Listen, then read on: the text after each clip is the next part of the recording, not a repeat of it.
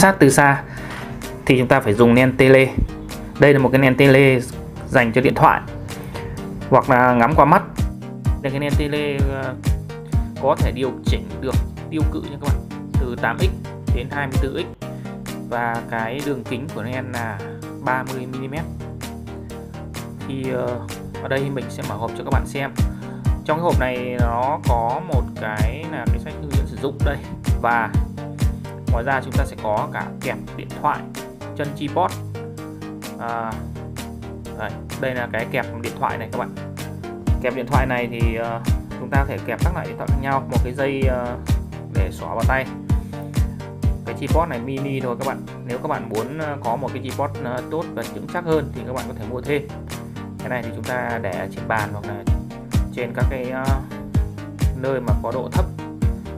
Trên bàn thì chúng ta sử dụng tốt hơn cái nem TD này nếu ờ, bên mình có hai có hai cái lựa chọn nhé một cái lựa chọn là các bạn có thể mua thêm ờ, cái kẹp điện thoại để nó gắn vào hoặc là các bạn mua, chỉ mua ờ, mua ống kính này thôi và ngắm qua mắt.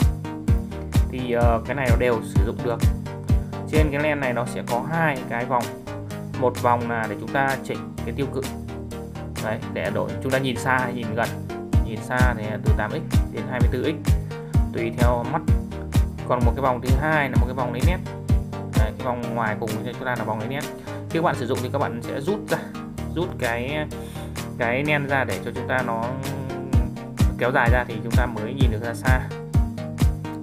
Ở đây cái kẹp này thì à, các bạn à, kẹp vào điện thoại keyboard thì chúng ta gắn vào cái lỗ à, một phần tư inch này. Chúng ta để lên cho nó chắc chắn hơn.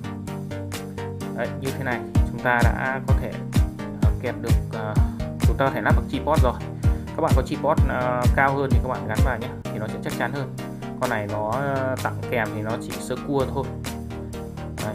còn nếu mà các bạn chỉ dùng để ngắm bằng mắt thì chúng ta cũng không cần phải mua thêm ờ, cái option có tripod và kèm điện thoại này làm gì. Đó. Khi các bạn ngắm qua mắt thường ấy thì chúng ta sẽ nhìn nó đại khái nó như thế này. Còn nếu như mà chúng ta có thể thay đổi được cái tiêu cự nhé các bạn vặn mấy cái vòng trên nem đấy giúp mình.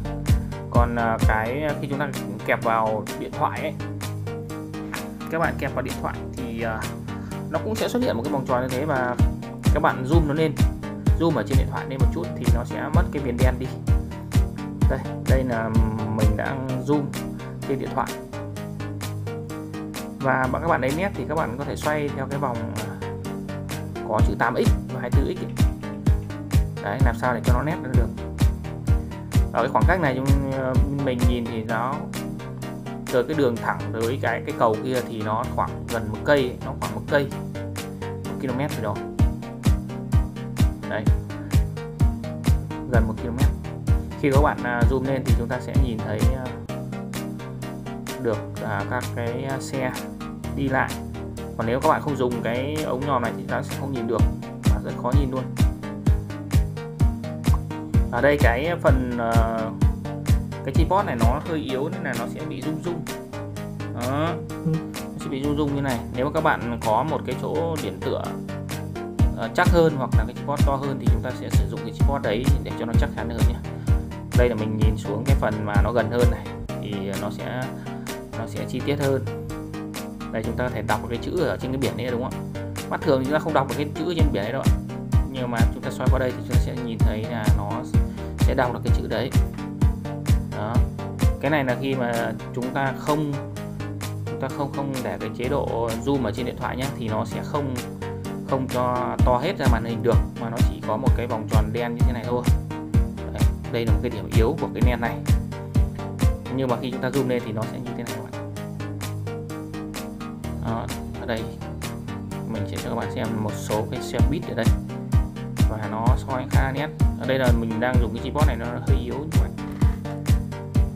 cái này thì nhớ anh em mua về một là đi câu này câu cá có thể soi phao soi bẫy chim rồi là chúng ta đi du lịch đi rừng các kiểu đấy chúng ta có thể ngắm xa được.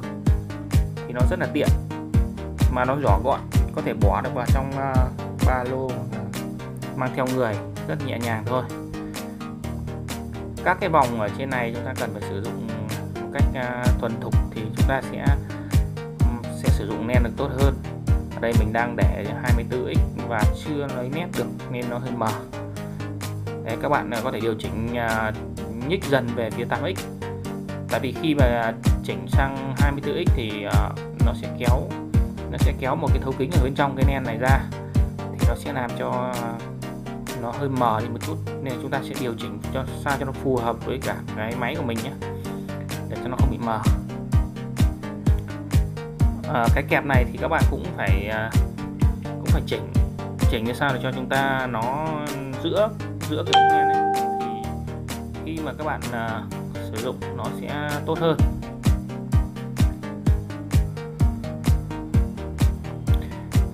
Cái nen này thì hiện tại bên mình cũng đang bán ở trên các sàn thương mại điện tử như là Shopee và Lazada.